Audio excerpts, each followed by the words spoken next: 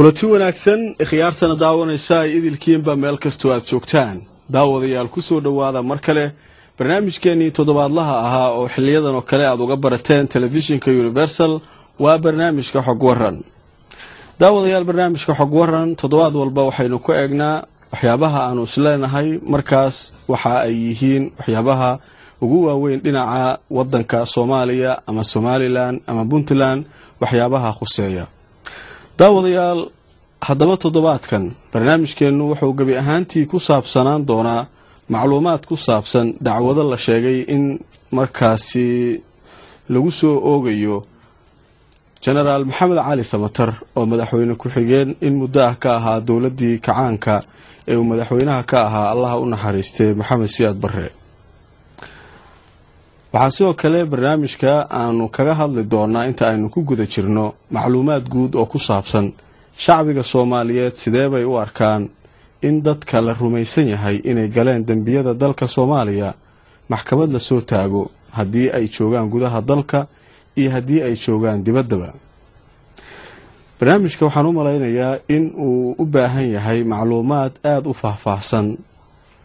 Daawadayaal barnaamijka waxa ay nagala qeybgeli doonaa ugu horeyn haddaan ku bilaabo istuudiyaha martida inala joogta oo aanu si weyn uga mahad celinayno sida ay nooga aqbaleen inay barnaamijka inagala qeyb galaan. Cabdifataax saciid axmed oo ah danjiraha somalilan uga wakiilka ah ama u fadhiya wadanka ireland islamarkaana ah isuduwaha jaaliyadaha somalilan ee qaaradda tan yurub.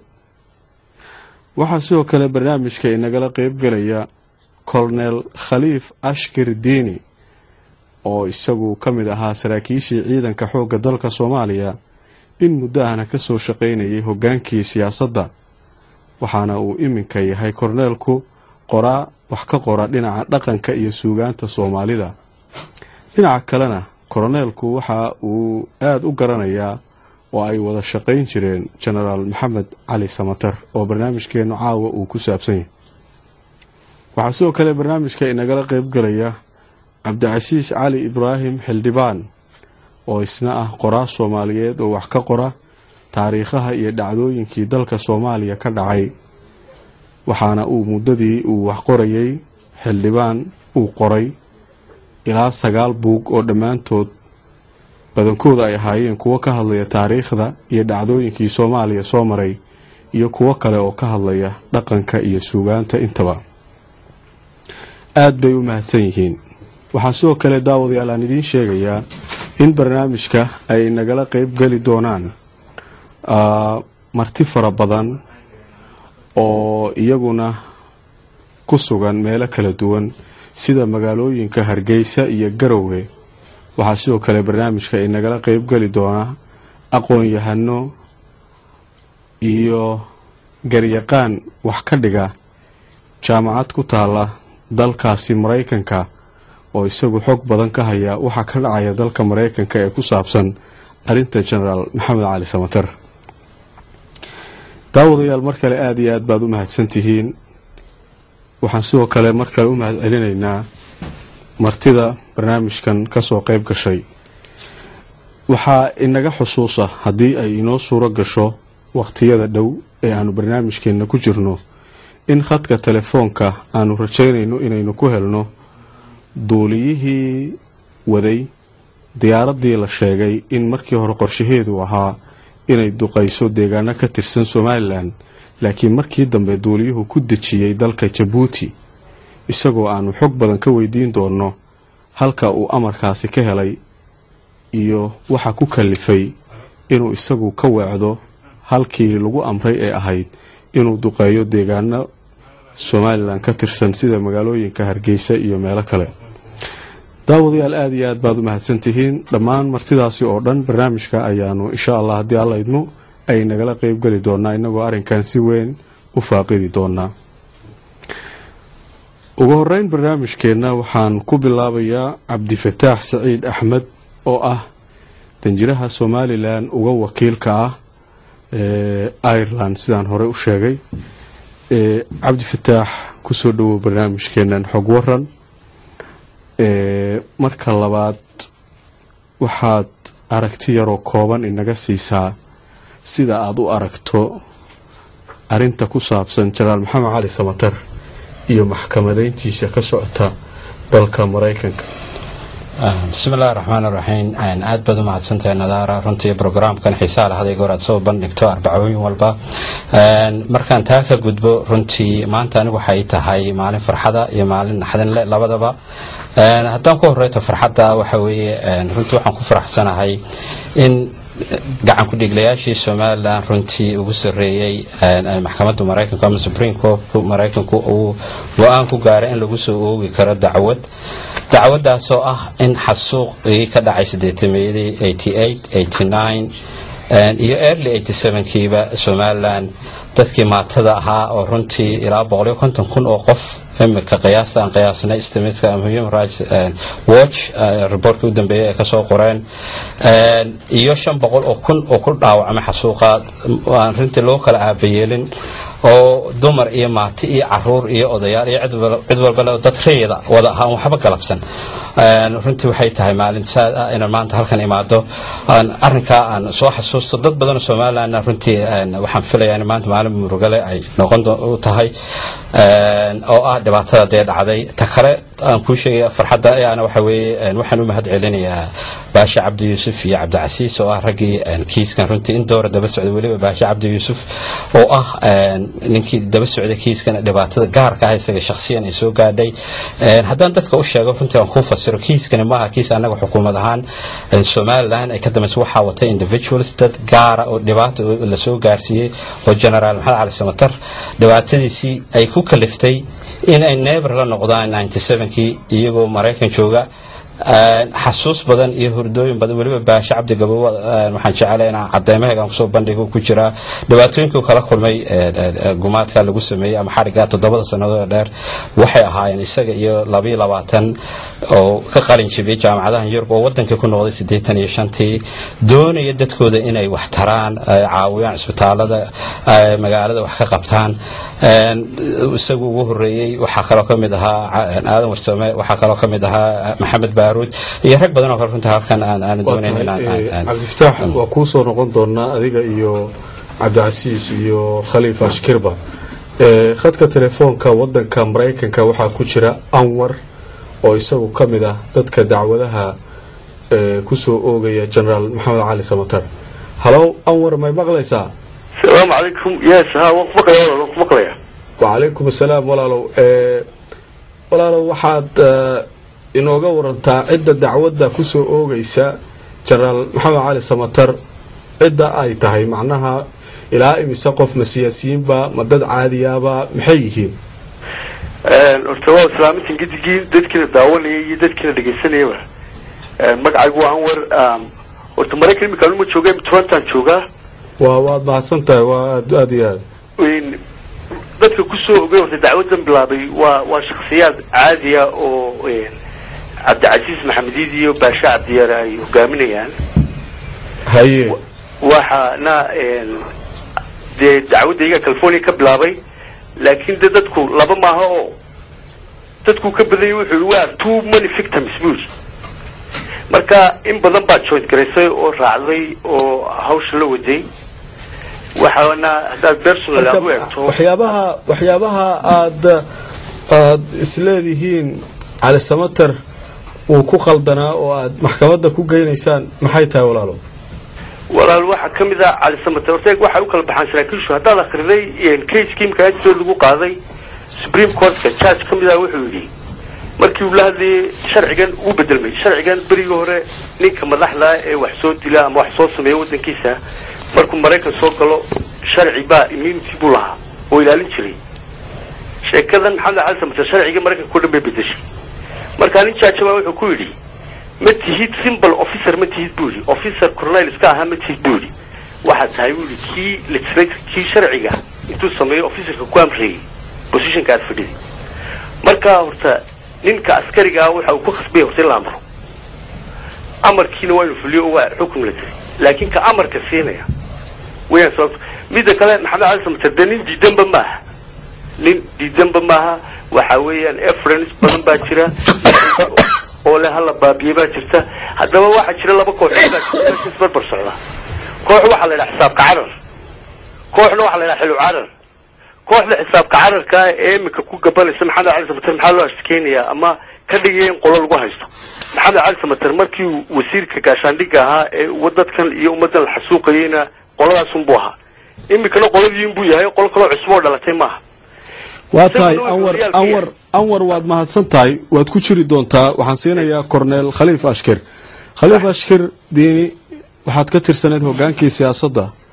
Waadna wada shaqayn jirteen jenaraal maxamed cali samatar. Sidee u aragtaa eedeymahan la leeyahay jenaraalka loo haystaa. Adeerow waxaa la yidhi eena waa e bina waa b meeshan waxyaalo badan oo madaxa isla galahaya ayaa jira. Waxyaalahaas waxaa ka mid ah yacni disasterkii ka dhacay dalka. Ilaa iyo haddana ka socda. Kaasu wuxuu ku tusahayaa dad badan oo dad shacabkeennii oo lalaayey oo cararay oo barakacay oo calool xumo leh. Waxaa kaloo jira macnooyin kaleeto oo odranaya dalku waa dal intergrati buu leeyahay. In la difaaco oo laysku hayo waa qawaaniid jira. Waxaa kaloo la odranaya oo meesha imaanaya qofku ma rajiim baa la dacweynayaa mise qof baa la dacweynayaa. Intaasoo dhan oo isku wada huwan baa jira waxaan ka soo qadaya marka anu ka hadli mahayo inta kaleeto disasterka dalka ayaa ku dhacay ka hadli mahayo oo ilaa iyo maanta socda.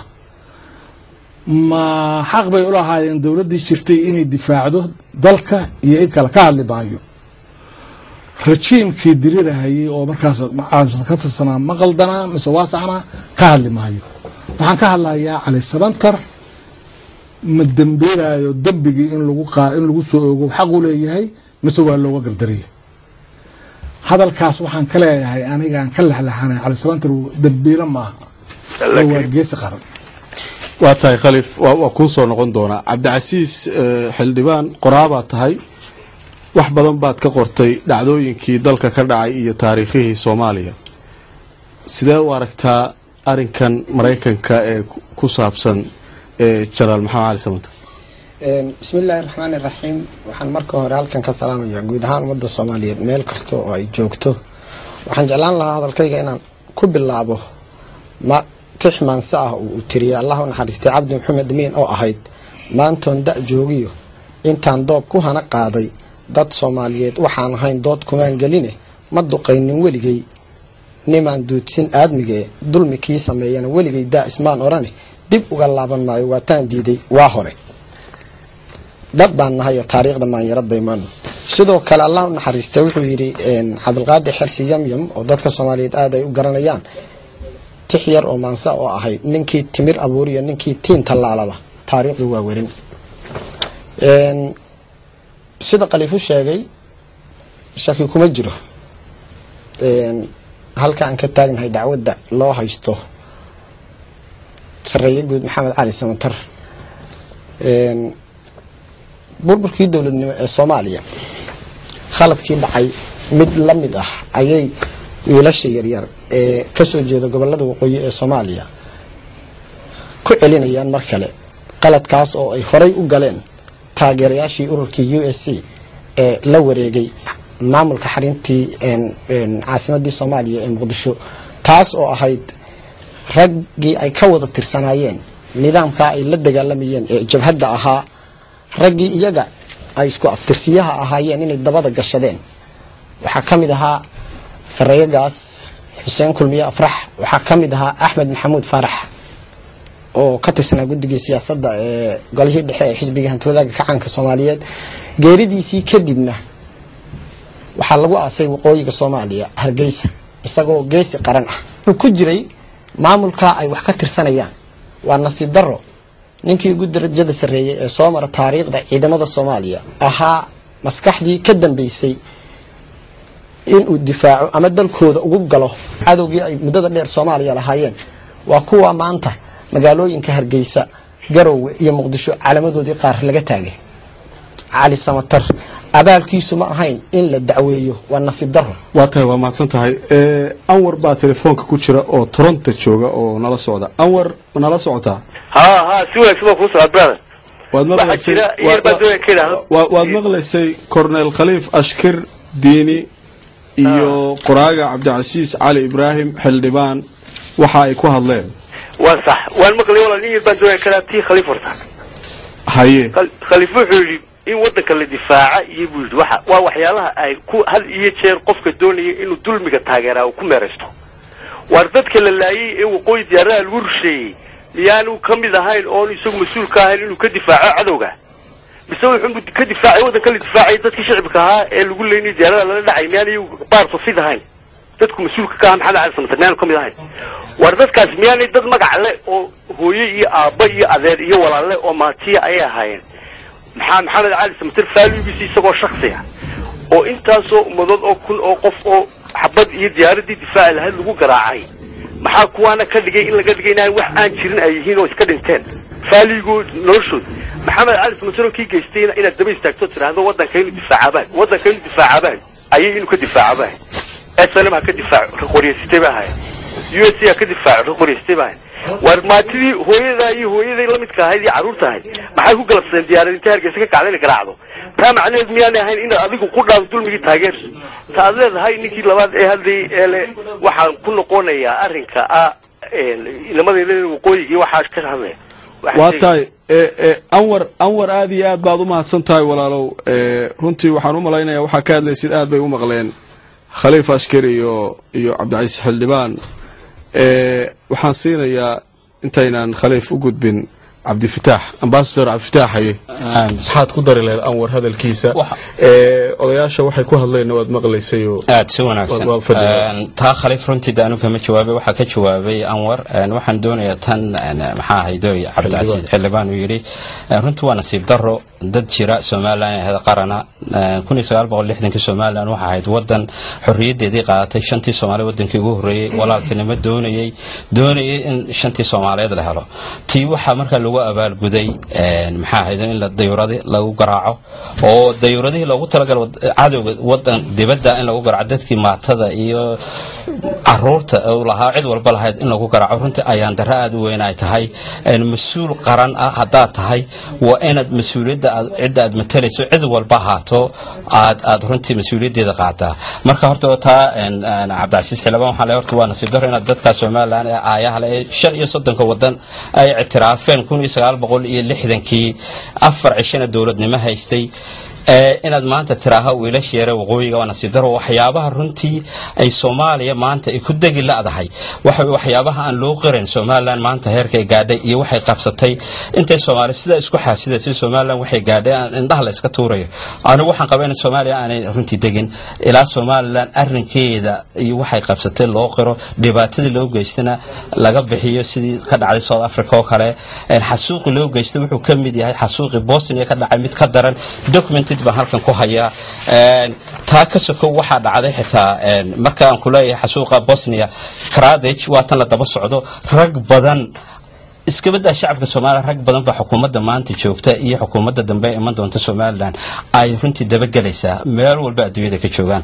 Iminkana saad ka warhaysaan wiik horteed lundi waxaa lagu gaaray cid alle ciddii crime ka gashay. Waxaa loo dirayaa monitoring committee oo reportka ugu dambeeya sameynaya oo uu geenaya united nationka resolution ka soo saaray muddo lix bilood gudahood laga joogo. Cid alle ciddii dadka soomaalida maanta xitaa xamar lagu xasuuqayo. Iskabadaa somalilan in la dabagalo meel walba ay joogaan.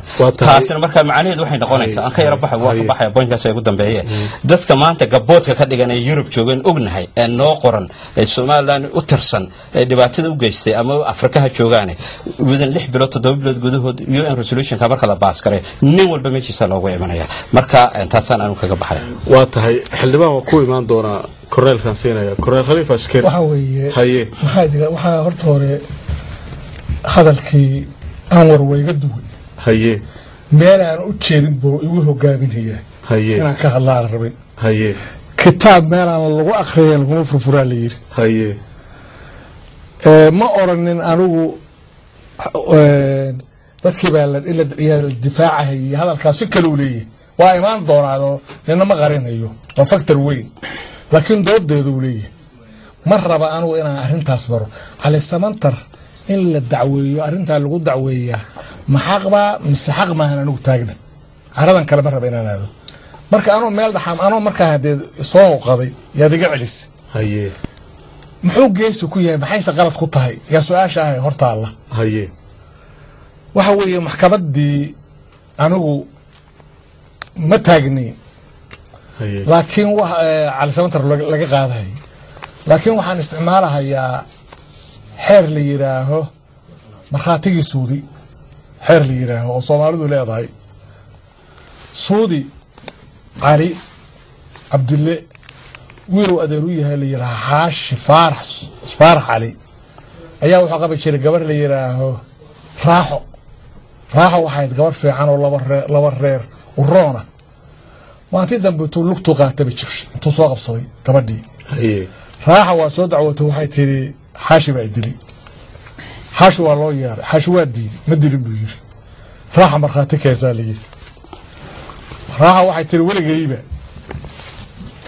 aniyo suudi waxaan dhex maray markhaati looba yeelin. Ma hayaanuu markhaati adeerkiisoo suudi ah oo waa aabihii la dhashay baa gacanta taaga wuxuu yidhi anaa ka maraga in xaashis xaashi inuu dilay raaxo. Maxaad ku tiri baa la yidhi saddex qodob baan soo qaatay buu yidhi. Kiiskii waa muuqdaayo raaxa waa dilanta. Oo kiis ma jira laba laha. Raaxa waa qof idab badan oo sharaf badan oo aanu naqaano. Intii nin kala dilay ama qof kala dilay ninkeeda kuma dhejiseen oo ma tiraadeen. Xaashi waa nin xanaaq badan oo dagaal badan oo labaxiniyooda nimaan isaga ahayn hadduu raaxad dilo ma noolaadeen maanta meyd baa meesha ooli lahaa. Haye. Saddexdaas darteed anoo qaadatay baa waxaan markhaati ka ahay in xaashi raaxad dilay haye. Markhaatigii joogsi buu noqon. Haatan anigu saddex arrimood oo aan sheegahayo yani in cali sabantar uusan dembiilo ahayn aan yaan ku caddaynaya haye soo koobadeeda haye.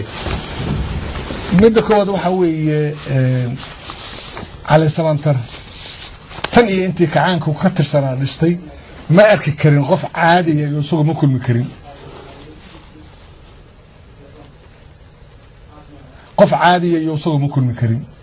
Marka ninka yidhi cali sabantar baa amar ku baxsho in lay dilo ama lay xere yidhi waa ninaan jaranjaradii kala sarraynta aada ula socodin. Cali sabantar dagaaladii sokeeye intay dhacahayeen ma xukumin ciidanka xoogga dalka soomaaliyeed.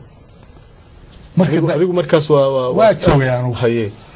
Waxa meelo laga qorqoray iyo maaha waa joogay ma xukumin saddex wasiir gaashaandhig baa ugu dambeysay. Marka ninka yidhi cali sabantar baa i dilay ama i xeray ama meel i gashay waa nin aan la socon kala bedelka saraakiisha. Waa qodobka labaad. Qodobka saddexaad cali sabantar ma ahay nin ajitaata ah oo xanaaq badan oo cadifi ah oo dadka disha dadka qabqabsada ma ahayn nin siciim ah oo weliga xanaaqan laga garan oo xigmaawi ah oo ummadda soomaaliyeed qofkii arkaaba jecel yahay oo markuu xanaaqo xataa qosli jiray halkan baa waxaa lagu arki jiray xoogaa duuduuba.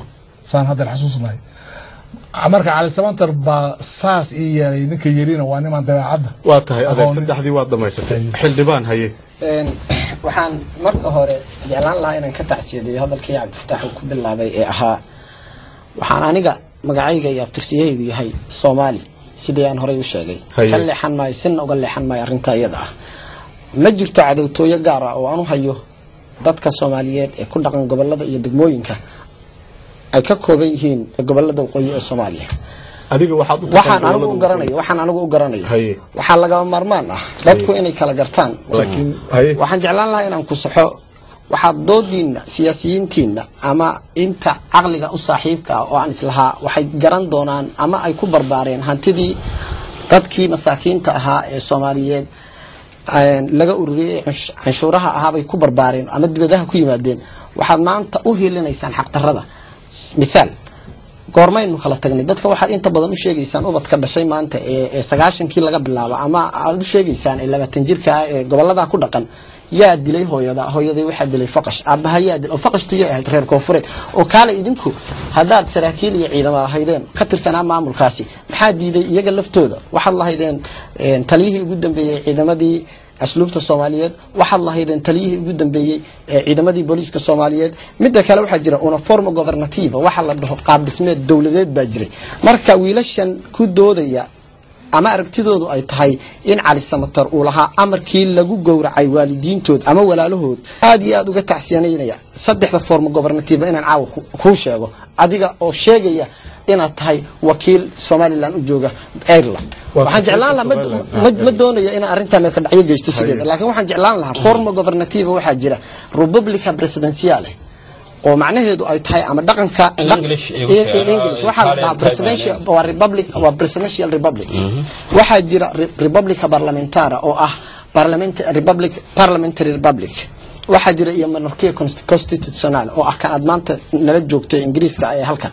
Waxay leeyihiin foormo ay u shaqeeyaan nidaamyadaasi. Oo kale ah republica presidentiale waxaa head of ah madaxweynihii jamhuuriyadda.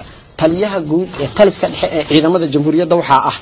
Sarkaalka ugu sarreeya ee dagaal dal gelin kara ama ka saari kara waxaa ah madaxweynaha jamhuuriyadda. Cali samatar muddo wuxuu ahaa halkanna aan ku hayaa darajada madaxweyne ku-xigeenka lix iyo toddobaatankii kowdii bishii luulyo kun sagaal boqol lix iyo toddobaatankii waxaa loo magacaabay inuu noqdo madaxweyne ku-xigeenka koowaad ee jamhuuriyaddii dimuqraadiga soomaaliya. Waxaad sheegaysaa waxaad sheegaysaa wiilasha ee aan ku tilmaamay inay gobollada ka soo jeedaan. Haddii cali samatar haddii cali samatar wax wax yar raalli ahow in yar waa wada hadli hore may markaan saaxiibtinimo u wada hadlayna iyo markaan shacbiga la hadlayna waa laba waa laba mawduuc. Waxaan jeclaan lahaa inaad degeysatid dowladi ma jirto dowladi ma jirto. Waxaan doonaya waxaan doonaya in adeer waxaan rabaa aan runtaa isu sheego in yar in yar wax yar wax yar. Aan dhamaysto maya aan dhamaysto hadalka waan kuu daynayna maya waxbaan kuu sheegaya ma jirto hore aan kuugu sheegay cadaawad gaara oo aan u hayo dadka gobollada degan Waa- dad soomaaliyeed. Waxa ay tirsanayaan aniga oo ku hadlaya magaca ummadda soomaaliyeed caawa halkan laga daawanayo. Magaca ummadda soomaaliyeed waxaan raaligelin ka siinaya waxa ay soomaalida inteeda kale ka tirsanayaan. Tihiin ee, runtii waxaan rajaynayaa doodu inaysan aad nooga fogaan oo doodeenu ay ku salaysnaato cilmi iyo wax ca- cad oo qof waliba taariikh ama hadduu hayo wax cad ee, cadaymo cad qof walba inuu la yimaado. Waana filayaa inaad qof walba cadaymo cad u haysto. Daawadayaal weli telefoonka ayaa noo geli lahaa. Aad baan u rajaynaynaa inaan helno. Duuliye sare axmed xaaji oo aanu hadaaye la xiriirnay laakiin hadda teleefonkiisu uu nagu adag yahay. Marka waanu heli doonaa haddii alla idmo wuxuu ahaa duuliyihii diyaaradii lagu amray inay duqayso somalilan ku dejiyey jabuuti. Daawadayaal markan waxaan ku wareejinayaa barnaamijka oo igala qaybgalaya waryaheena magaalada hargeysa khadar maxamed cakulle. Khadar maxamed cakulle waxa uu la kulmayaa dad reer somalilan ah oo u soo joogay marka dhibaatadan la sheegayo iyo waxyaabaha ay tabanayaan reer somalilan xag- xaggaa ka dhacay. Haddaba aan khadar idinku wareejiyo isaga ayaa inoo daadihin doona qaybtan warkeedu ku saabsan yahay reer hargeysa siday u arkaan arrinta cali samatar. Aad iyo aad baad mahadsanta cabdulqaadir nadaara. Arrintan marka la soo qaado bilihii ugu dambeeyey ee warbaahinta ay ka socotay dacwadda lagu soo oogay madaxweyne ku-xigeenkii koowaad ahaana wasiirkii gaashaandhiga ee wakhtiyadii sideetamaadkii ama dhowr iyo siddeetankii jenaraal maxamed cali samatar. Een, waxa dadweynaha somalilan ay ka bixiyeen dareenno xoog leh oo ay aad ugula socdaan arrintaasi intooda badanina. Waxay meelaha laysugu yimaado si weyn ugu falanqaynayeen natiijada arrintan iyo sida ay ula socdaan oo ay ka muuqato xoogaalnimo aad u dheer oo ay arrintan ku xiisaynayaan in ay aad ula socdaan. Haddaba cabdulqaadir markii barnaamijkan een, saad soo qaadayba ay ogaadeen telefishinka caalamiga universal in lagu soo bandhigayo barnaamijka een, xog ee telefishinka.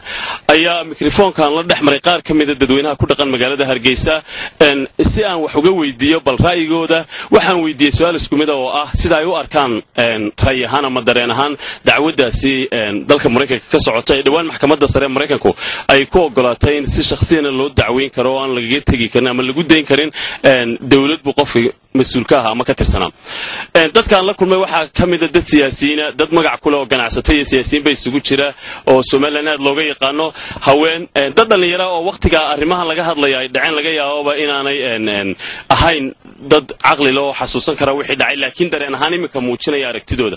Marka waxaan jeclahay inaan idinku soo dhoweeyo daawadayaal iyadoo telefishinka universal dadkan uu kula kulmay goobo kala duwan iyo meelo kala duwan oo aad u kala durdurugsan oo ka mida xaafadaha iyo qaybaha kala duwan ee magaalada hargeysa. Daawadayaal waxaan leeyahay idilkiinba ku soo dhowaada muuqaaladan iyo ra'yiga dadka oo qof waliba uu sheegi doono magaciisa ugu horrayn kadibna uu ka jawaabayo dareenkiisa iyo sida uu arko dacwaddaasi. Qof dembi galay oo ummad ka galay haddii maxkamadu ay ku soo oogeen wixii yani dadka uu ka galay laga jarayo waxaan ugu arkaa wax yani saalixa oo hagaagsan. Waayo dadka kale laftooda bay u noqon kartaa. Wixii dambe dembi gelaya haddii isaga maanta laga qooyo dembigaa uu galay inay inta dambena kaga waantoodo afrikada inaga naqaano dhaqankoodaba mid kale waxaan u taaganahay maxamed cali samatar marka la eego rajiimkii maxamed siyaad barre in wixii carada ka dhaca marka la eego inuu fifty bercent ba lahaa. Oo isagaa wasiirkii gaashaandhiga ahaa isagaa janankii ciidamada ahaa isagaa yani ku-xogeen madaxweyneha ahaa kii koobaad u ahaa. Wax aanu yani nin shaksiyan dee loo eryan karoo reernimo lagu eryana maaha. Oo reerkoodu hargeysa wuu ka buuxaa haddii bakuuri xamar wuu ka buuxaa meel walba waa joogaa marka waa shaksiyan wixii uu dembi qofku galay qofku doonaba ha ahaadee. Haddii laga jarayo oo ay aadamigu dee taa goostaan waxaan qabaa wixii inay saalax tahay inay waajib guteen maraykanku. Waxaana leeyahay maxkamadaasu weliba anugu aad baan ugu bogaadinayaa go'aanka ay gaadhay wanaagsane ah in dembi shaksiyana lagu qaado sidii statekii waad joogtay hargeysa? Markii dhibta ugu badan hargeysa burca ka dhacsay gaar ahaan hargeysa maxaad muuqaal ahaan sawir karaysaa maanta?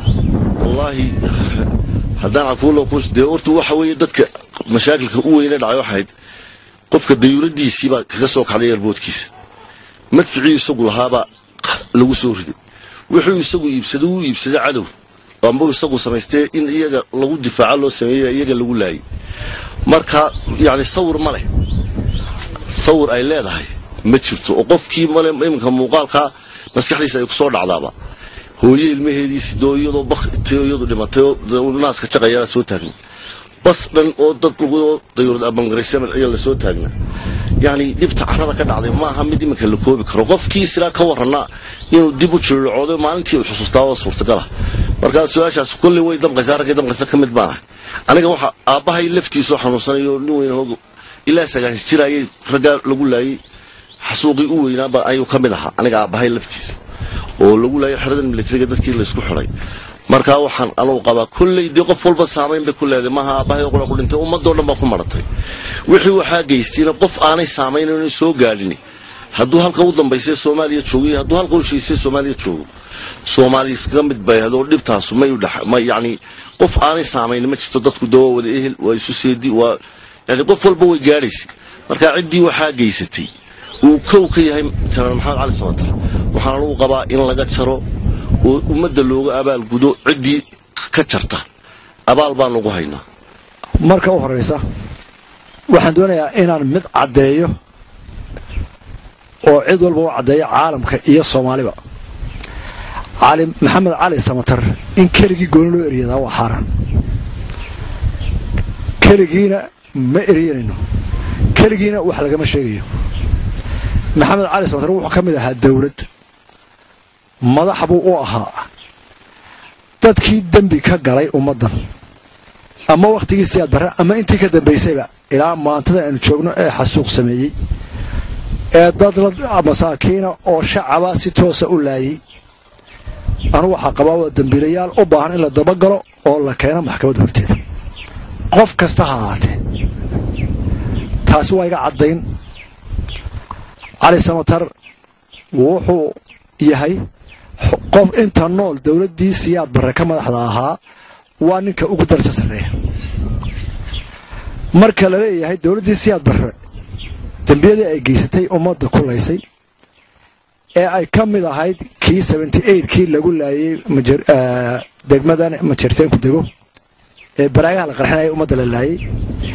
Kii ka dhacay somalilan kuwii ka dhacay xamar gudaheeda kuwii ka horreeye lagu laayay madaxdii ay ka mid ahayn caynaashe iyo dheel iyo kuwii ay ka mid ahaayeen kuwii lagu laayay waadada. Rejiimkii siyaad barre ayaa galay. Ninka ugu eeda weyne go'aanka u weyn lahaana waxaa maxamed siyaad barre uu dhintay. Ninkii ku xigana waa calisamatar ee la madaxahi isagii baa nool. Isagii kuwii ku xigayba dee waa ka wada mid arrintaa marka waa in nin walba oo arrintaa go'aan ku lahaa dembigiisa la daba dhiga. Ama hargeysa ha joogo ama yurub ha joogo ama maraykan ha joogo ama xamar ha jooge.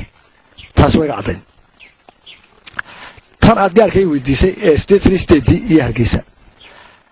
Maxamed cali sabtar. Isagoo ah madaxweyne ku-xigeenkii.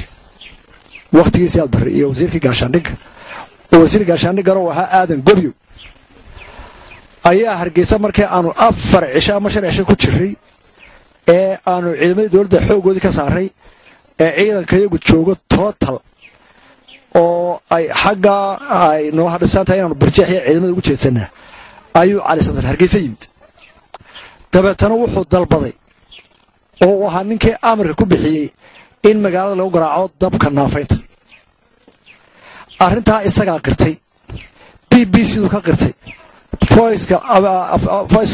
voice of africa ka qirtay iyadoo ingiriisi ah oo cajaldiya la haya. Ta u dheer dadka waa ninka qirtay magaalada ay ku nool yihiin toddoba boqoloo kun oo qof oo shacab oo maatiih in lagu garaaco madaafiic iyo diyaaraddii iyaga cashuurtooda lagu soo iibiyey. Maalintaa waxaa dhacay baan idiin sheegay haddaba ummadda soomaaliyeed.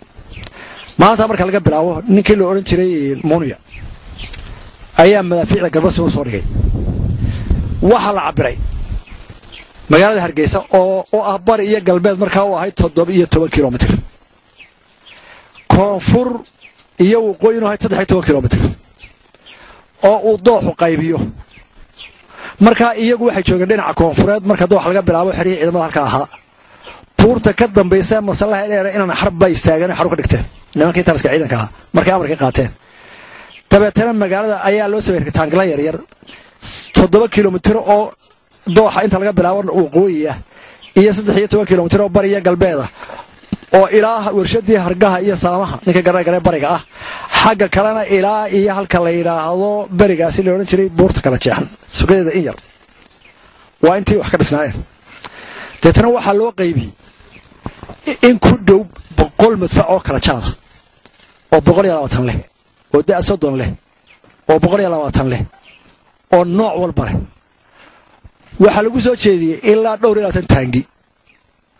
Waxaa lagu soo jeediyey ilaa sideed guuto oo ta u yari ay dab ka ridayaan saddex boqoloo ta u badanna lix boqoloo bal hadda waxaad cabirtaa markaa qoryaha dhuumahooda marka saa loo soo jeediyey rasaasta ka soo dhacdaa halkii sentimitir yani halkii mitir boqol meelood qayb sentimitir waana xabad ku dhacdaa ama tu yari ama tu weyn kontonkii mitirna waa inuu madfac ku dhaca ummaddii halkaa ku noolayd intaa waxaa dheerayd taliska ciidanka waxa kuwa ninka lahaa faarax siciid oonu aniga iskulaas ahaan jirin isna waxaa lagu siiyey amar oo uu fuliyey oo ay saddex afar diyaaradood fuliyeen in diyaaradu maalintii taanga loo buuxiyo ay kacdo ay saddex saacad dul taagnaato ay si indhala-aana bari galbeed waqooyi eriyada garaacdo saddex iyo tobanka kilomitr iyo toddoba kilomitr diyaaradda saddex saacad taaganaysa waxay sidaa bambooyinkii iyo laba qorood waaweyn oo boobayaal cululus oo mise dhowris oo mitira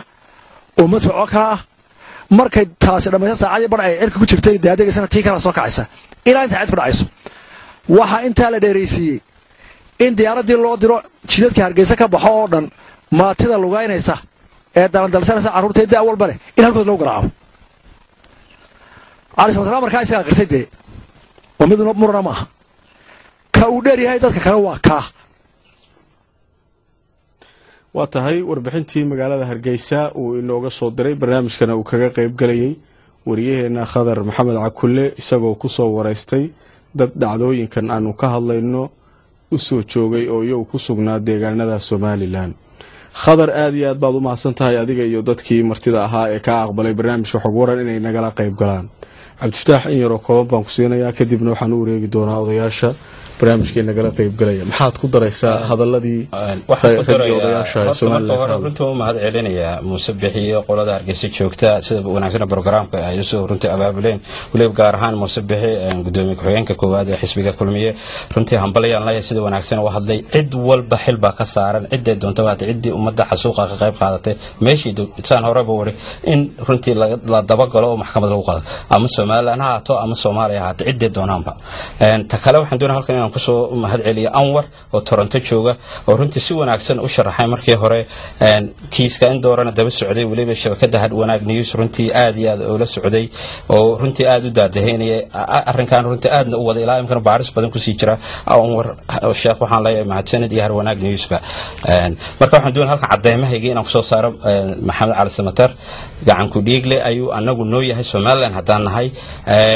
Maxaa hayday cadeymihii isagoo qirtay inaan halkan video clip aan ku soo saaran doonaya. Marka waxaan jeclaa inaad daawataan. Anaana runtii programkan soo sameeyey universal shuqul kuma laha. Marka waa program oo qirashadiisa iyo b b c da ka hadlay sida muuseba sheegay iyo oraah iyo clips dhibaatadii lagu hayay somalilan ee ka dhacaysay eh, garaacay. Waad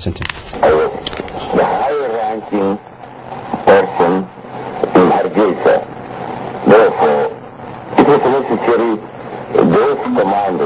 consult with me and to, to have direct, directions from myself. As you know, the top person in the area of conflict should give the last okay. Yes, I give this okay. waxaan ahaa qofkii ugu darajada sarreeyey ee joogay hargeysa sidaa darteed waxaa lagama maarmaan noqotay in abbaanduulayaasha ama taliyayaashu ay ila tashadaan islamarkaana ay iga helaan tilmaamaha. Sida aad og tahay qofka ugu sarreeya dhulka colaaduhu ay ka socdaan ayay waajib tahay inuu bixiyo okayda ugu dambaysa. Haa aniguna waan bixiyey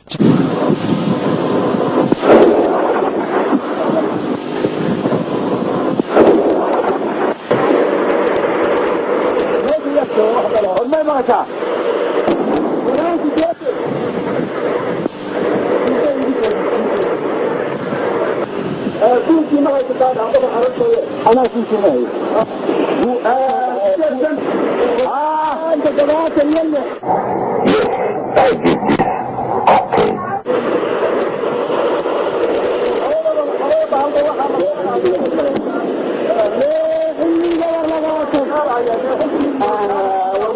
فرنجات فرنجات من المغرب صاحبي Yes,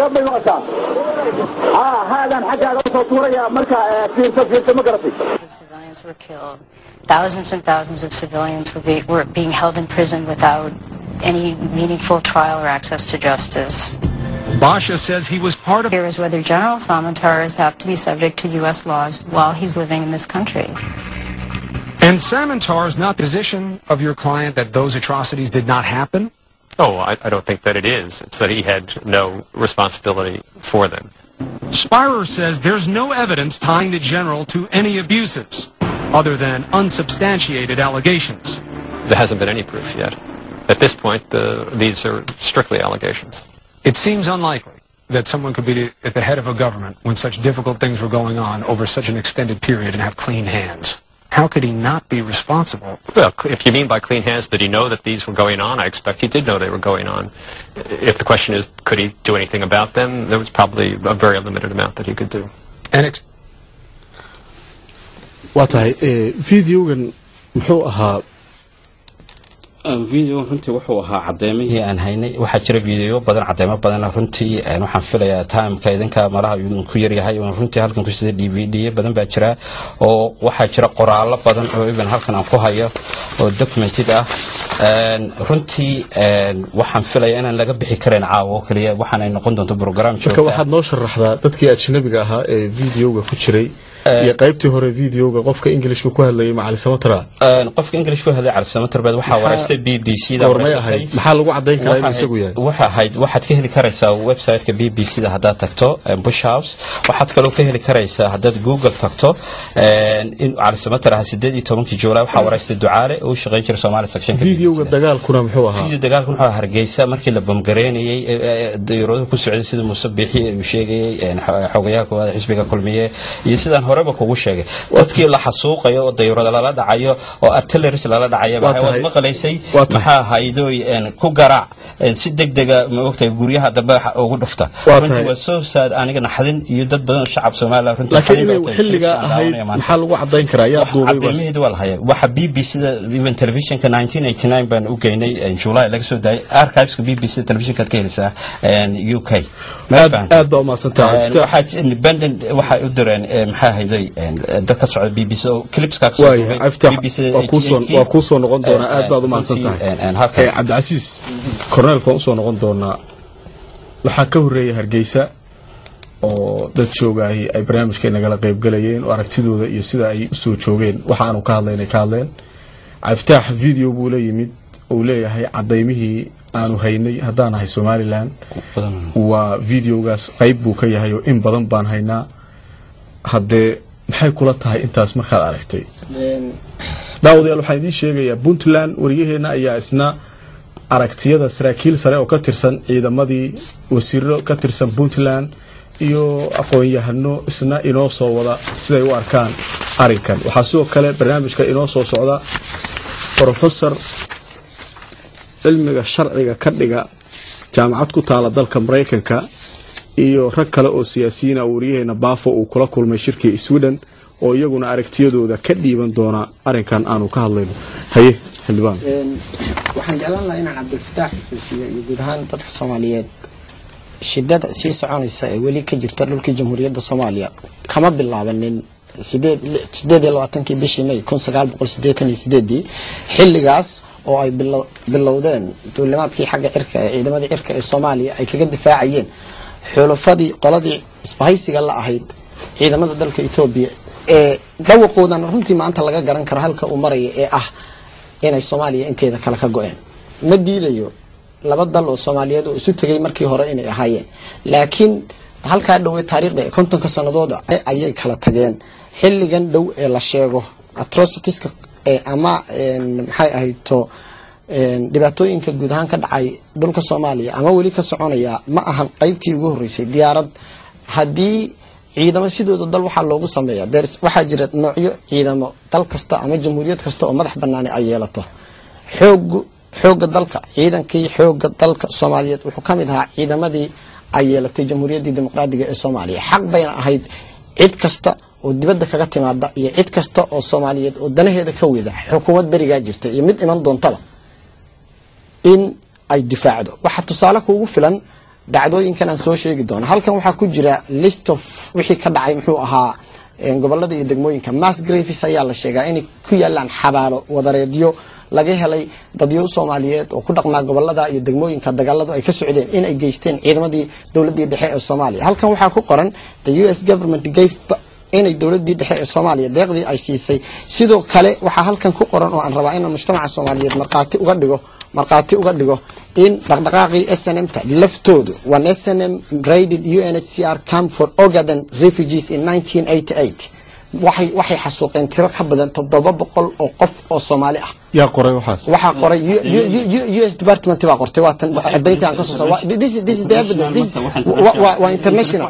Waxaa halkan ku qoran nadaara adaan kuu dhiibaya. Waxaa halkan ku qoran warbixinta ay soo saartay unhcr ta ay soo saartay. Hay'adaha uu cuskanayo inay ururiyeen dhacdooyinkii ka dhacay soomaaliya dhinaca kale cabdifataaxaan dhamaystir midda kale faadimo isaaq bixi oo ah danjirihii soomaaliya u fadhin jirtay maxay ahayd switzerland qaramada midoobey laanteeda halkaa ku taalla. Waxay sheegtay in shaqaale ka tirsan dowladii dhexe ee soomaaliya oo tiradoodu ay ahayd labiyo toddobaatan ruux inay ku gowraceen jabhaddii snmta deegaanadii ay duulaanka ku soo qaadeen. Mas'uuliyadda dadkaa dhintay ee soomaaliyeed waxaa qaadaya dhaqdhaqaaq kasta oo magacaa sita ujeedadoodu ay ahayd markii hore ee ay dagaalka gelayeen sida ku qornaa dastuurkooda buuggan horseedayaashii halaaga soomaaliya ballanqaadyadii been abuurka ahayd ee ay bixinayeen jabhaduhu. Waxaa ku qoran qodobka koowaad firqadiisa lixaad lixaad The SNM national movement is committed to the total liber- liberation of the, of the Somali Republic and shall oppose any division of the country into the regions or many states that are prejudicial to the unity of the country. oo macnaheedu uu yahay dhaqdhaqaaqa snmtu waxay xoreynayaan dhulka jamhuuriyadda soomaaliya waxay ka soo horjeysan doonaan in loo qaybiyo dalka loo qaybiyo degmooyin ama waaxo ay ka taliyaan qabaailka qabaa'il ka taliyaan taas oo dhaawacaysa midnimada iyo qarannimada soomaaliya. Maxaa maanta iska bedelay dooda soconaysa labaatan sannadood cabdifataax dalka magacaabay ee danjiraha u yahay. Haddii ujeedadiisu ahayd anigu waa waad garanaysaan qoyska la ii tiriyay ee soomaaliyeed aniga kuwaygii baan ka soo baxsaday jananadeedii baan ka soo cararay uga soo cararay magaaladii aan degana waxaa haboon inaad garato qabiilkayga madaxweyne igama dhigi karo qabiilkayga janan igama dhigi karo qabiilkayga wasiir igama dhigi karo. Waxaan jeclaan lahaa dadka soomaaliyeed in lagu abaal mariyo wixii wanaaga ay dadkooda u qabtaan ama kuwa doonaya inay hogaamiyaan. Laakiin in xumaan lagu teer lagu lagu lagu taageero waxaa maamulka aad ku doodaysid inaad danjiro halkan uga tahay. Xubno ka ah saraakiil sarsare oo ka tirsanaan jirta nidaamka aad sheegaysid atrocities inuu ka geystay waqooyiga soomaaliya. Waa tahay ee, ma garanaysaa? Xildhibaan- waxaan kaloo jeclaan lahaa arrin xusuusin mudan. Dagaalkii ugu horreeyey wuxuu ka bilowday bartamaha waqooyi bari soomaaliya uu ka bilowday. Saraakiishii ceelasha dadka ku guda jirtay ee aan magacyadooda liiskooda hayno ee dhibaatooyinka ka geysatay magaalooyinka gaalkacyo magaalooyin badan oo laga xasuusan karo caawa ma doonayo dadka inaan dalqayo inay inay ahaayeen saraakiishii hogaaminaysa kuwa gobollada ka soo jeeda xildhibaan waa maadsantahay cabdishax waa maadsantaha odagaan siinayna. Oday baa nala jooga korneel khaliif ashkir waad u jeedaa xildhibaan eventis buu la soo baxay. Cabdifataaxna waad arkaysa video buu la yimid. Uu halkan ka shiday. Uu leeyahay cali samatar oo arinkii amar ku bixinaya weeye. Waa somalilan waxa ay haysato oo cadayna iyo looyaradii doodayay oo dalka maraykanka. Marka adigu maxaad ku daraysaa hawshu meeshay socoto waad- waad- waad waxa weeye horta anigu event aniga ah laftigayga maxaa yeelay anaaba taagnaa. Haye calisabantan anigu isagoo hargeysa jooga. Shibila inay nimankii ciidamada watay la tashadeen iyo in kale ma aqaano. Haye. Laakiin inuusan buteere dowladeed oo amarkii ka dhacay dagaalahaas uusan saxaadaba ku jirin baan hubaa aniga. Haye. Oo la wada ogyahay waxaa kaleeto meeshaan ku jira hadal caaqiban oo fiican baa la sheegay. Waxaa la sheegay wixii dambiile ah inaan loo turin. Waxaad ka wadaa hadalkii hargeysa uu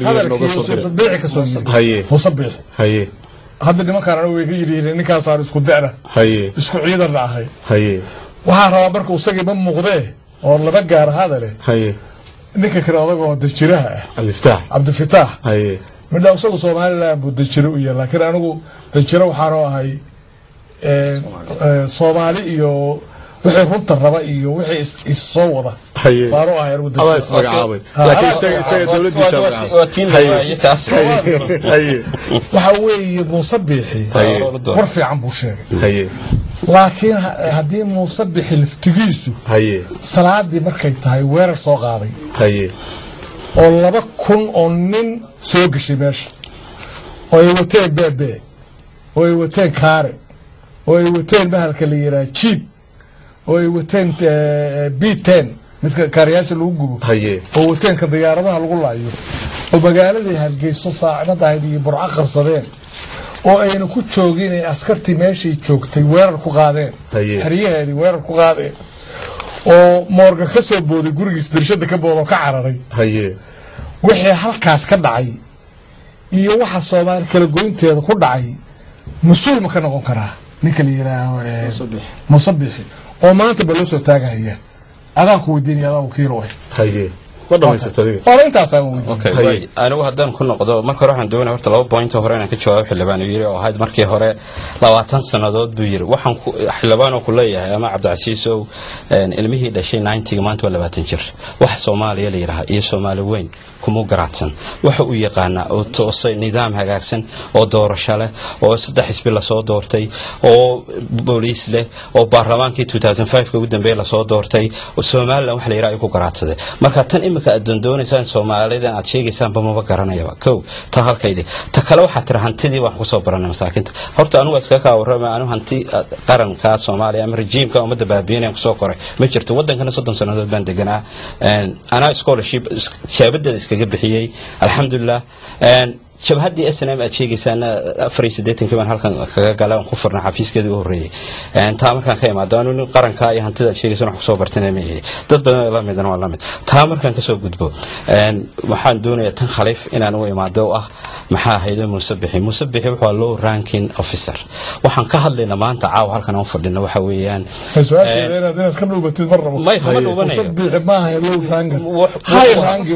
waxaan sheegayaa chief of staff baynu ka hadlaynaa halkan. Waxaynu ka hadlaynaa ninkii ciidankaysa wasiira difaac baynu ka hadlaynaa maanta. Kama hadlayna corneel iyo iyo nin hoose.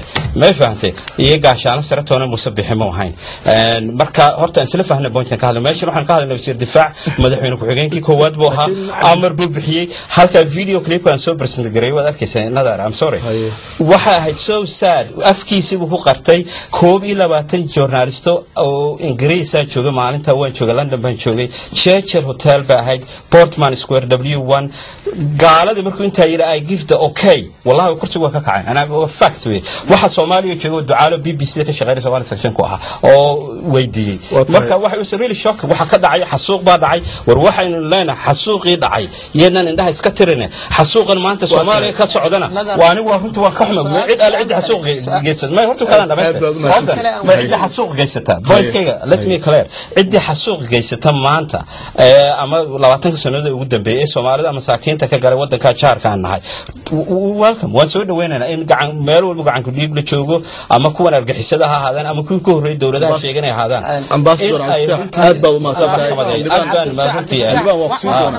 doonaa marka hore hal mar baan ku siinayaa laakiin waryaheena puntland oo isna hawl badan soo qabtay oo dad mas'uuliyiina waraystay saraakiil ciidamadii hore waraystay siday u arkaan iyaguna waxa taagan oo caawa aanu ka hadlayno oo arrinta jenaraal maxamed cali samatar waryaheena nuux muuse birjaab ayaan markan ku wareejinaya oo garowa jooga nuux. Cabdiqaadir si aadah ayaad u mahadsan tahay tan iyo markii ay soo shaacbaxday in cali samatar dacwad lagu soo oogay oo ay soo dacweeyeen dad sheegay in uu dhibaato u geystay ayaa deegaanada puntland dadka ku dhaqan waxa ay ka bixiyeen aragtiyo kala duwan iyagoo dadka dhammaantii ay ka wada sinaayeen in arrinta lagu haysto cali samatar xilligan ay tahay mid qalad ah oo meelkadhac ku ah cali samatar. Sida ay tilmaameen siyaasiyiin saraakiil iyo weliba waxgarad kale oo aqoon u leh genaraal cali samatar. Iyadoo saraakiishii aan la kulmay ay tusaalooyin u soo qaadanayeen cali samatar xilligii uu madaxda ahaa nin aqoon u lahaa dhanka shuruucda iyo ciidankaba islamarkaana ahaa nin hoggaan wanaagsan wixii ka horreeyay iyo kowdii dadka qaarkii ayaa tusaalooyin u soo qaadanaya dembigii dalka laga galay inay galeen rag kale oo qaarkood ay iminka joogaan iyagoo mas'uuliyad haya iyo iyagoo dibadaha ku noolba balse aysan jirin cid haysata iminka. Dadka ka hadlay arrinta cali samatar waxa ay isugu jireen siyaasiyiin iyo saraakiil aan ku hormaro sayid jaamac oo ah iminka taliya ku-xigeenka booliiska puntland islamarkaana ahaa ciidamadii kumaandoska wixii ka horreeyey kowdii. In badanna uu taliyo u ahaa cali samatar cali samatar wuxuu ahaa jenaraal wuxuu ahaa ragga soomaaliya maanta aan qabo inay ahaayeen raggii horumar ballaadhan soomaaliya gaarsiiyey. Niman kale waxbuu naga laayay. Cali samatar hargeysa iyo burco midna ma tegin walaalahoodii iyo aabbayaashoodna ma aqoono ma layn. Dembiga waxaan qabaa inay u qabsadaan raggii burco iyo hargeysa oo deganoo nabada intay ku soo duuleen askarta soo geliyay. Oo xaafadihii dumarka iyo carruurta dhexdooda ka dagaalamay. Anugu way mara habaabeene. Anugu kuwaasaan qabaa inay dembiga u qabsadaan.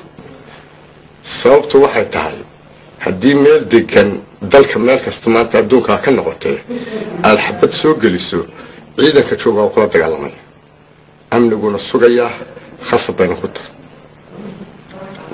Maanta taa iyada ah dembi loogu qabsan karo ma aha hargeysa iyo burco esanan iyadaa soo gashay dumarkii iyo caruurtii bay ka dhex dagaalameen xabad bay ula yimaadeen wixii meesha ka dhacay dembigooda raggii madaxda ka ahaa basaaka joogee ha loo qabsado.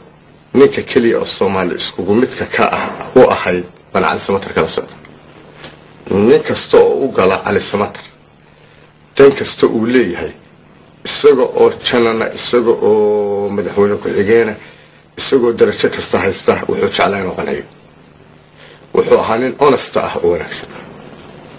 Cali samatar saasaan ula socdaa wax dembi oo galayna ma jiraan. Waxaase anigu la yaabanahay. Dowladdii haddii la eego ilaa iyo garowe ilaa gaalkacyo ilaa iyo tuulooyin dhan oo la waayey oo jalantaa laga bilaabo lahayd wixii tacadi dhulkaa loo geystay iyagaan baxbadba qaadan ma dacwoonayaan. Wixii dadkaygii aniga xamar loogu geystay oo soomaali oo dhamme ee mare ka ahayd wixii asadooyinkii iyo caruurtii iyo dumarkii iyo raggii midna aan la kala reebin. Wax dacwo ah umaanu soo qaban dadkii dilayna waa taagan yahay kismaayo tii ka dhacday oo lagu sameeyey. Sidoo kale siyaasiyiinta ayaa iyaguna ka hadlay waxa ay tilmaameen in tani ay tahay xaqdarro sida uu xusay dr cabdiraxmaan siciid dhagaweyne oo xilal wasiir ka soo qabtay puntland. Arrinta dacwada lagu furay jenaraal maxamed cali samantar haddaad ixiga weydiisay anigu waxaanu arkaa arrin aada looga xumaado bainful informationa xaq aan ku salaysnayn waxaana aaminsanahay inay tahay gardarro iyo gaandaansi dhanka kale haddaan u eego anigu waa yaraa waagu madaxda ahaa shakhsiyaddiisa sida dadku ay sheegaan. Wuxuu ahaa shakhsi aqoon leh wuxuu ahaa golihii sare kacaanka ragga ugu firfircoon oo ugu aqoon badan wuxuu ahaa nin ka dhisan aqoonta ciidamada soomaaliya. Waxaana asad ay leedahay ummadda soomaaliyeed marka aqoontiisa la miisaamo.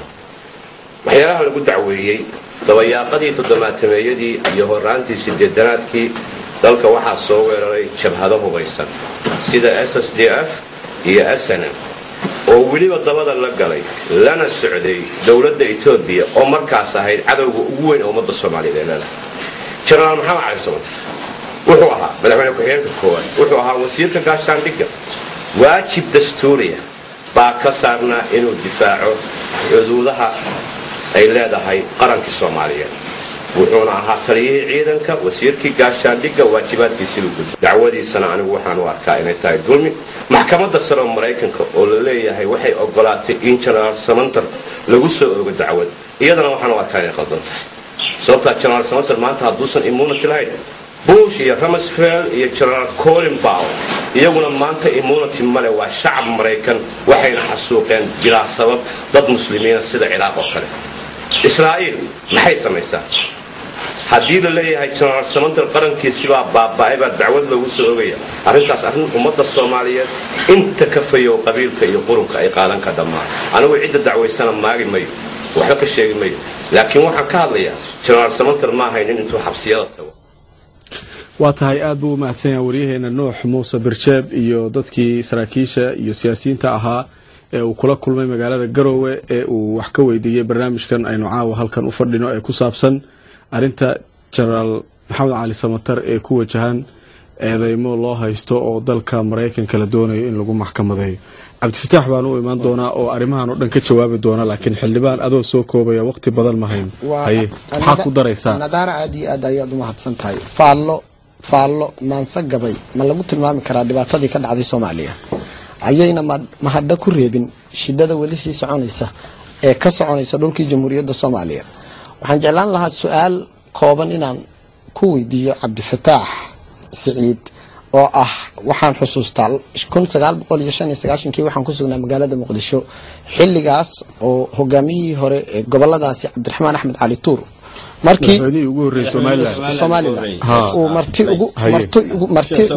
marti ugu noqday saaxiibkiis ay jaalka ahaayeen jenaraal maxamed faarax caydiid aqbalayna xilka madaxweyne ku-xigeen dowlad la oran jiray salbalaar oo aan meelna ka shaqaynin oo ku taalla jamhuuriyadda soomaaliya. Yaa qaadaya mas'uuliyadda labada kun ee ruux ee magaalada burco ku dhimatay kun sagaal boqol iyo shan iyo sagaashankii xilligaas oo cabdiraxmaan tuur uu magaalada muqdisho ka sheegay in ay ka noqdeen dhawaqoodii ahaa inay go- gooni isaga taageen soomaaliya waa su'aal su'aasha xigtaa waxaan jeclaan lahaa inaan weydiiyo cabdifataax oo ah asaaskii dhaqdhaqaaqii s d f ee somali salvation democratic front ee cabdulaahi yuusuf axmed madaxweynihii hore ee dowladda kumeel gaarka ee soomaaliya uu madaxweynaha ka ahaa uu hogaamin jiray berigii ay berigii berigii berigii raggii saraakiisha ahaa ee uu ka tirsanaa ay ku fashilmeen inqilaabkii ay doonayeen inay ku afgembiyaan xukuumaddii allaha u naxariistay sareeyo gaas maxamed siyaad barre. Waxaa ka dhacay gobollada dhexe ee soomaaliya xaalad aan cidna looga warramin marna aan dadka loo sheegin. Dadka gobollada deganna ayaan cidna u qabsanin. Waxaan jeclaan lahaa arintaas saraakiishii hogaamiyeysay Waa waxay ahaayeen. umahadsantahay. su-aashii- Arrinta- su'aasheeda arrinta- ugu dambaysaa waxay tahay mas'uuliyadda xagga duqayntii diyaaradaha. Waa sida uu u sheegay sarkaalkii ugu dambeeyey ee ka soo hadlayay puntland. Sarkaal kasta oo loo dhaariyo difaaca iyo ilaalinta qarannimada iyo madax banaanida dhul ay jamhuuriyadi leedahay. Waxaa waajib ku ah haddii cadow shisheeyihii soo weeraraan ama ay soo weeraraan koox u dhalatay dalkaas. Waxaad hadda markhaati ka tahay telefishinkan aan wax badan ka sheegaynay kooxda xuutiyiinta ah ee danaha reer iiraan ka fulinaysa. Yemen ee diyaaradaha dagaalka ee maxay ahayto dalka ay leeyihiin yemen lala dhacay madaafiic wax kasta oo lagu difaaci karay madax banaanida cali cali saalim albeyt iyo cali cali cabdalla saalax markii ay sameeyeen jamhuuriyadda yementa ee hadda jirta. Cali saalim albeyt wuxuu isku dayay inuu ka noqdo dhawaqiisii waa la difiid garay. Anigu waxaan qab- waxaan qabaa su'aali kama aan kaa hormaro. Allah u naxariisto horta madaxweynihii hore ee somalilan cabdiraxmaan axmed cali cabdiraxmaan tuur marka su'aalihiisa soo koob. Haddii aad qaar ka jawaabayna xor baad u tahay waxaad oran kartaa qaarkaas waxaan doonaya horta su'aalaanta ugalato one second baan doonaya inaan arrin yaro hore waxaa dhacday hore runtii arrinkan uu sheegayo xildhibaan. Uu mar walba ku celcelinaya. Uu leeyahay qaranka waxaa ka saaran mas'uuliyad haddii cadow dibadda cadow gudaha. War adduunyadan aan joogno maanta ingiriiska dadku hadduu kacdoon sameeyo oo fikradiisa u dhiibto ma waxa dowladda ingiriiska wadan xorriyada joogtaaye oo degan tahay? Ma waxa dayuuradooda ka soo kicinaysa xasuuqaysa bal caqliga common sense-ka ku siinaya maanta waa waxyaabihii wadankan burburiyey kuwa maanta aan leenahay gacan ku dhiig leeyihiin mentalitygoodii kugu jira number one runtii aad baan uga xumahay waxaad leedahay dad badan leedahay dayuuradaha lagu kiciyo waa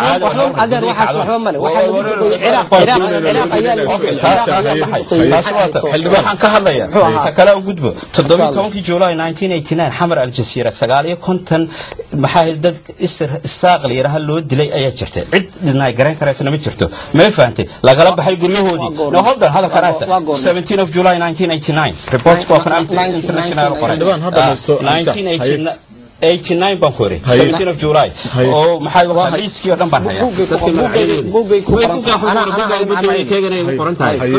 oo runtii was shocking dad guryahoodii habeennimadii lagala baxay waxa even ku sigtay guriga in lagala baxo aniga aabahay was lucky baalinta Oo markaas joogay anigu halkan ku noolaa maxaa ahayde kismaayo ayuu safar ugu baxay luckily guriga habeenkaa waa lasoo garaacay marka waxa waa dad isir loo doonaya loo baabi'inaya baa had cidna ay garan karaysana maanta ma jirto reportskaas oo dhan waan wada haya amnesty international baa qortay waa kuwan halkanay ku wada cad yihiin ya ma fahantay waa kuwa waa amnesty international waa reportskay qortay 1989 marka taa markaan ka gudbo een, maxay waa dad isir loo baabi'inaya imika halkan waxaa jira wiil jamhuuriya een, een, maxay newspaperkan la yidhaha khadar xasan caligaas usoo diray maantadan ku faraxsan xasan maxamuud cabdi baa la yidhaha sagaal walaalihii ayaa ku jiray nimanka jasiira habeenka een, ilaahay u naxariista gidigoodbe lagu maogta xasuuqa lagu sameeyey xasuuqa Qortay xasuuqa xogeeyey rejiimkii siyaad barre ee markaa noolaa ay sheeganayay shaarka huwanaa maxaa ahayd inay dowladda soomaaliyeed oo runtii aan aanu ku mateli karin dowladda soomaaliyeed ahayd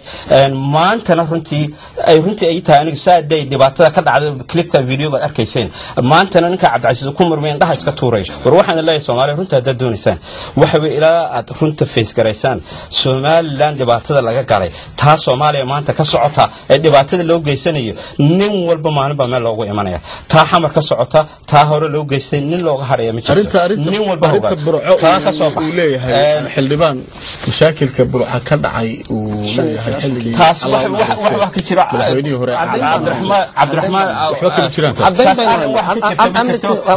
ka google iska dhoodhoobay tan kale waxaan doonayaa qolida khaliif uu yiri ma ogtahay mujaahid maxamed muuse bixi muuse bixi waxaa nin wadankiisa kacdoon dhibaato dadkiisi loo geystay. Caruurtiisii laga xasuuqay walaaladii laga xasuuqay waxa inuu kaco eh, isirkii uu kasoo jeeday markii uu arkay in la gumaadayo ayuu damiirka sii mooya rejiimkii markaa joogay inuu sii joogo marka waa inuu isdifaaca self defense buu sameynaya sidii raggii kale lamid ahaa islaamka aad baa su-aashii kale hadda kaga jawaab cabdiraxmaan cawle ilaah u naxariisto waa individual waa shaksi shaksiga sideed iyo tobankii may 1991 somaliland go-aan burca la iskugu tegay go-aan bay ku gaadhay in somaliland goon iskudaageeda lagu dhawaaqo ilaa sool ilaa sanaag ilaa lixda gobol ee somaliland ka kooban tahay go-aan baa lagu qaatay Adiga iyo marka taa xildhibaan shaksi aad waa baa shaksi umahadsan badan oo somaliland matalo meelahaas ka socsocota anagana ma matalo shacabkana ma matalo korreelkaas in- Ah, in- in- marka eh, marka amar waxaa laga Waxay ka jirtaa taliyihii ciidanka nabad sugidda. xildhibaan waa mahadsantaha khaliif haye bas weeye marse macalin waxa aad baa weeye umahadsantihiin. haddaba halka waa gabagabo haye waxa weeye horta hore een, anigu oday baan oo dadka soomaalida waa la dardaarmaya haye nin baa yiri baa la yiri ciidan xumo weynaa haye nin waalan baa dabcay baa la yiri oo awrtii iyo waxarihii iyo caruurtii isku didiyo. Oo guryihii gubo. Mid markuu aadaa kee kalaa ka fakada. Alla ciidan xumo weynaa buu yiri haata ciidan xumo weynaa. Waxaanu kool saarno. Iyo wax ficlaa iyo wax cunaa ma hayno. Wa- wa- wareer habeennimana waa loo waabariistaa baa layiri inaad hadda isa soo doorataan oo meelaha ku jajaqlaysaan oo gaalada isku jajabstaan oo laba laba farta ku saarto oo ceebteena la ogaado waxba tari mayso ama kuwaan hadda ha ahaadeen ama kuwa dambe ha ahaadeen horta waxaan kula talinayaa inaynu ceebo waa ka dhergnay cadaawadna waa ka dhergnay dhalinyarada soomaaliyeed ee cagaha dhulka dhigto taas waa mar.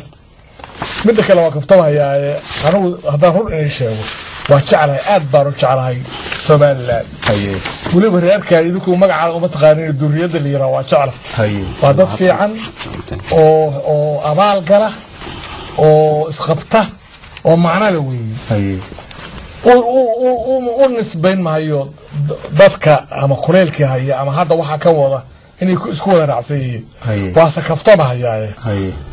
Laba nimoo geel isku darsataa mid geelihiisu hal ka irmaanta midda toban markaasuu iyo waryaa geedkaana soo qurac maaha waana geed garas. Soyo maya waa garas angeelayna kala baa loo yiri haddayba saas xaajadu tahay waxaa moodaa xoogaaga nabadda iyo isku dhawaanshaha kan qolada talo inay noogu goojida ayaanu leeyahay angeelayna kala baalo ilmaada nagama kii qabtaan naga daayo.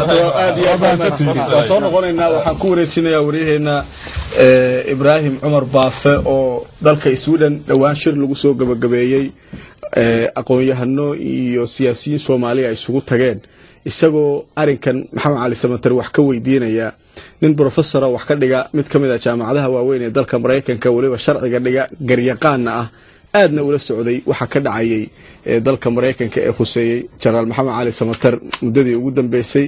Iyo siyaasiyiin kale uu ka mid yahay jaamac cali jaamac iyo rag kale uu halkaa kula kulmaybaa in kooban baanu ka soo dayn doonaa baafaye barnaamijkeena xog waran caawa qodobkaan uga hadlayna oo ahaa dacwadii lagu soo ogay genaraal maxamed cali samater haddaba cali samater waxaa dacwadani ay ku soo ogtay amba ogolaatay maxkamadda ugu sareysa dalka maraykanka in xilligan la dacweyn karo. Barnaamijka waxaan jeclahay marka inaan uu igala qayb qaato aqoon-yahan islamarkaana garyaqaan cabdiwaaxid sheekh cusmaan oo isagu degan dalka maraykanka gaar ahaan gobolka minnesota islamarkaana ah bare wax ka dhiga jaamacad ku taala minnesota xagga sharciyada. Cabdiwaaxid habeen wanaagsan ku soo dhawo barnaamijka xog marka hore marka xigtana waxaan jeclahay inaan toos aan u galno barnaamijkeena maadaama qareen aad tahay maraykankana aad degan tahay maxamed cali samater dacwadan lagu soo ogay oo maxkamadda u sareysa ee maraykankana ay ogolaatay in la dacweyn kara. Adigu dabcan qareen haddii aad tahay waad la socotay wax badan. Exactly maxaad noogu sheegi kartaa. Marka hore adiga universal t v iyo dhammaan daawadayaashiinu aad baad u mahadsan tihiin mar labaadka. Sida aad sheegtay dacwadan loo haysto maxamed cali samater genaraal maxamed cali samater waa dacwad runtii hadda muddo soo jiitamaysa weeye dacwadu asalkeedu waxa ay ka socotaa eedeymo ku saabsan xadgudubyo ay eh, la sheegay in uu geystay eh, generaal maxamed cali samater intii uu xilka u hayay dowladda soomaaliyeed. Cali samater dabcan wuxuu ka mid ahaa dowladdii een, hore ee kacaanka ee kow iyo labaatan sano waddanka xukumaysay maxaa marka isaga si gooniya eh, dacwadan loogu oogay maadaama isagu xubin ka mid ahaa dowladda maan dowladda dhan loo qabsan karin maxaa marka een, si gooniya isaga een, loo weeraray oo in dacwadan lagu sameeyo? Maxaa keenay xilligan? Waxaa la odhan karaa een, waxa uu ka soo jeedaa qabaa'ilada minority-ga oo kale mise eh, waxaa is arrin kale ayaa jirta. Maxaa dowlad baa geysatay? Isagu dowlad buu ka mid ahaa si individual ah ama si shaksiya maxaa dacwadan loo furay Eh, dacwadan waxaa soo oogay oo maraykanka ka soo oogay urur u dooda xuquuqda aadamaha oo la yidhaahdo center for justice and accountability. Wax faa'iidaha oo ay ka helayaan inay jirto u malayn maayo sida awgeed waxay arrintan anigu ay igu muuqataa inay tahay qolada hawshaas wakhtiga badan ku lumisay looyarada iskaga bixiyey ku bixiyey kharashka badan inay dee halbacaad lagu lisay arrintooda oo iska noqonayso. Sidaasaan anigu qabaa. Markii aan weydiiyey eh, kooxahaasi ama sida ku qoran qoraalada ay maxkamadaha u soo gudbiyeen laba sababood ayaa ay u sheegeen sababta cali samater si gaara dacwadan ay ugu soo oogayaan kow waxa ay sheegeen inuu cali samater ku nool yahay dalka maraykanka sida awgeed uu qaban karo sharciga dalka maraykanku oo ay awood u heli karaan inay dacwad isaga ka dhan ah ay keeni karaan maxkamadaha ku yaalla dalka maraykanka waxay ku habbooneyd maanta oo kale ninkaasoo kale in ay iska cafiyaan ayaa iyagana u roonayd isagana u roonayd xataa hadda xataa haddiiba la xakumo alla og waxay noqon doonto ee waxba ka faa'iidi maayaan iyagu. Laakiin taa macnaheedu maaha in aan la dabageli karin ama dacwada aan lagu soo oogi karin dadyow fara badan oo ku nool dalka maraykanka. Marka waa irid furantay. Aad baan uga xunnahay wakhtiga oo nagu gaaban aawadeed. Waryaheena baafo aad buu u mahadsan yahay looyarkii uu la kulmay iyo jaamac ali jaamacana aad bay u mahadsan yihiin. Waxaan jecelahay markan inaanu barnaamijka is- iska soo gabagabayno cabdifataax oomara korneel khaliif oomara iyo saaxiibkay cabdicasiis oo isna mara ayaan siin doonaa. Marka waxaan jecelahay cabdifataax ugu dambeyntii arrinta maxamed cali samatar wixii aad ka oran lahayd baad soo ku soo gabagabaynaysaa. Laakiin sidee u arki karaan shacbiga soomaaliyeed xilligan qofka la rumaysan yahay inuu dembi ka galo ummadda in la maxkamadaynayo ama la dabagelayo si cadaalada ama si isku mida dadka dembiyada ku wada jira ama la rumaysan yahay inay wada galeen. Sidee u aragtaa Een, runtii waa su'aal aad u wanaagsan. Waxaan filaya su'aashaas inay tahay nuxurka maanta halkan aynu fadhina afarteenaba in cid alla ciddii soomaali crime ka gashay ama haato eightiskii somaliland ama haato tan maanta soomaaliya ka socota taa waxaan filaya inaan isku diidanayn ciddee doontaba ahaato. Waxaan clipka markii dhaweed ka arkaya baafo uu weydiinayay ku celceliyay dhowr goor su'aal ah minority. Nin minority iyo majority u daba socda ninna ma jirto. Aniga walaalkay hadduu dembi galo crime galo xasuuq galo maxkamadda in la soo taago diyaar baan u ahay. Marka taa ah minority baa loo eryanayaa laakiin dad baa aaminsan waa fikrad aad u xun runtii waryuhu waa weydiinayo fikrad aad xun keligiina maaha. Waxaan wax bilaabmay wey maanta. Musabixi waxaan ku eriso mujaahid wadan gurigiisa waa loogu yimid. Isagu waa mujaahid nin wadankiisa u soo dagaalamay gurigiisii la gubay. How you expect aan ku weydiiyey khaliifo gurigaaga haddii lagu yimaado lagula dhaco. Korneella waa tahay.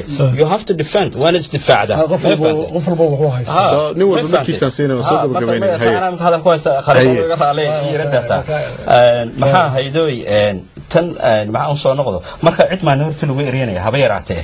Ma jirto waxaan wax bilow wey maanta. Wax joogsanayana ma aha. Waxaan doonaya soomaali inaan sheega taa taa xamar ka dhacaysa iyo taa somaliland ka dhacdayba cid alle cidday doontaba ahaata meesha doontaba ka joogto waa idin sheegay marka barnaamijka aan furaynayna lix bilood toddoba bilood gudahood resolution miyuu soo saaree qof walbo dembi soomaali ka gala meeshuu doona joog crime waxaa la yidhahaa i c c international criminal court oo haig ah in ay maxaa dabagelayso. Resolutionka un kala geynayo baa ka hadhay. Aad baa u mahadsan tahay ambasador cabdifataax saciid axmed ee korneel khaliif ashkir. Haddaay baad adigu gabagabayda laakiin gabagabo kale noogu celi haddaay baad adigu soomaalida la dardaaray Haye. wax hadal oo soomaali maanta ka socon kara. Haye. Dambiyadii la kala kalay duuduuba loo dhaqaaqi jirta. Haye.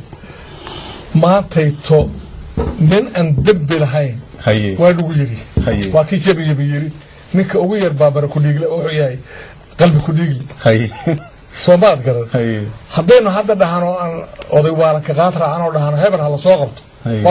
Way isku qumiyoobaynaa aan degno oo dalku ha dego oo sharcigu ha soo laabto oo aan isku nimaadno oo siyaasadda ha laga hadlo si aan u habayno sidii xataa south africa kula yeelo laakiin maanta haba anna way kanaan dhahno ordo waa ku ceeboobaynaa iska day waa mahadsantahay haye xildhibaan maxaa ku soo gabagabaynaysaa? Waxaan hadalkayga jeclaan lahaa inaan ku soo gabagabeeyo. Horta, hanoo celi in- su'aal inaan- kale. iyo hawl kale gabagabadiiyaan ku jirnaa haye inaan- inaan marka hore mahad gaara Waan u jawaabi runtii aan doonaa. Haye. aan kuu jeediyo ee, qaabkii Absolute. ama aad barnaamijkan runtii Thank aa you. u dah- aa u daadahaynaysay Haye. dhinaca kale hadalkaygu wuxuu caawa ku sar go-an yahay. Haddii cali samatar qoyska soomaalidu ay u tirinayso uu ka soo jeedo uu ka mid ahaan lahaa qoysaska soomaaliyeed ee kuwa cabdifataax iyo kuwa khaliif afshir iyo kuwayga oo kale ee qoryaha u qaatay inay afduub ku haystaan. Qaybaha gobollada iyo degmooyinka ay soomaaliya ka taliyaan uu qoyskiisu ka mid ahaan lahaa caawa wiilashaa yaryari kuma dhiiradeen inay dacwo dacwood ku soo ogaan. Waxaan jeclaan lahaa inaan hadalkaa intaa araacsiiyo xasuuqii jaziiru ka hadlay in badan lagu celceliyey waxaan jeclaan lahaa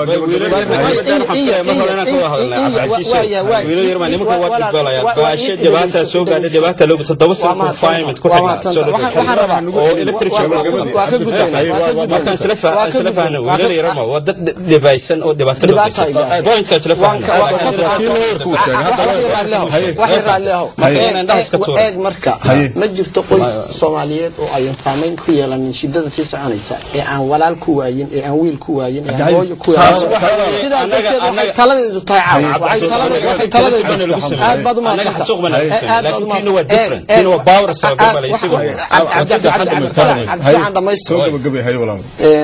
kastoo aan caawa oran lahaa waxaad igu celinaysaan warka laakiin wiilka hargeysa ka yimid sida uu qirtay hogaamiyihiin ee igu gowracaya gobollada dhexe ee jamhuuriyadda soomaaliya ilaa koonfurta soomaaliya ee- ee igowracaya maanta maxaan ku tilmaamaya waxaan ku tilmaamaya inaad isku- ad- ad- ad- ad- adaa garan doona waa axmed waad- waad inkiraysaa waa axmed gadanada waxaa sheegay socda arrimo kale iyo hawlo kale u socda doonta kursi anigu kama jawaabi karo somaliland ma taa shacab somaliland ma taas mawduuca saaray mawduucayna kuma jirtaa waa tahay aad iyo aad baa mahadsantihiin daawadayaal aad iyo aad bay u mahadsan yihiin martida sharafta leh ee barnaamijka ay nagala qayb gashay. Ambasador cabdifataax saciid axmed oo ah ambasadorka somalilan ee dalka ireland isla markaana ah isuduwaha jaaliyadaha somalilan ee qaaradan yurub. Aad baan uga mahad celinaynaa martiqaadkii uu naga aqbalay ee barnaamijkan uu inaga- inagala soo qayb galay. Waxaan si gaara uga mahad celinaynaa odageena caawa barnaamijka inagala qayb galay corneel khaliif ashkir diini oo isaguna aada uga soo shaqeeyay hogaankii siyaasadda ee ciidankii xoogga dalka soomaaliya. Markii yurub la yimidna isku bedelay qoraa dhaqanka iyo suugaanta soomaalida qoraya. Sidaad caawa hadaladiisa ka dhadhansanayseen mar walba uu hadlayo geela iyo wax badan baa ku jiray runtii aad iyo aad baa u mahadsan yahay odaga Eh, waxaan si gaara ugu mahad celinayaa eh, cabdicasiis cali ibraahim oo ku magac dheer xildhibaan oo isna ah qoraa soomaaliyeed oo wax ka qora taariikhda iyo dhacdooyinkii dalka. Sidaad caawa arkayseenna dokumentisyo badan iyo waxyaabo badan iyo qaar buugaagtii uu qoray ka mid a halkan la yimid sida cabdifataax asna uu dokumentiyo iyo wax walba ula yimid. Meesha waxaan u malaynaya waxaan dokumenti la imaano maskax iyo iyo caqli iyo waayo aragnimo la yimid corneel khaliif ashkir marka aad iyo aad baad u mahadsantihiin waxaan si gaara iyaguna ugu mahad celinayaa wariyaasheenna gobollada ka soo waramayay waxaan u mahad celinayaa khadar maxamed cakule iyo martidii uu soo waraystay waryaheena puntland nuux muuse birjeeb iyo raggii martida mas'uuliyiinta ee uu soo waraystay waxaan si gaara isna ugu mahad celinayaa khadka telefoonka inagu soo galay anwar oo isna jooga toronto. Aad buu u mahadsan yahay baafo iyo martidii isna uu waraystay aad baan ugu mahad celinaynaa waxaan si gaara ugu mahad qaybta farsamada cabdalla iyo biibay oo barnaamijkan gacan weyn ka qaatay iyo anigoo nadaara oo barnaamijka isku soo dubariday waa barnaamijka xog waran laakiin intaynaan ka bixin caawa dood badan baa dhacday. Aanu ka dhigano kaftan marka inaan isa salaano dhammaanteen aad iyo aad baad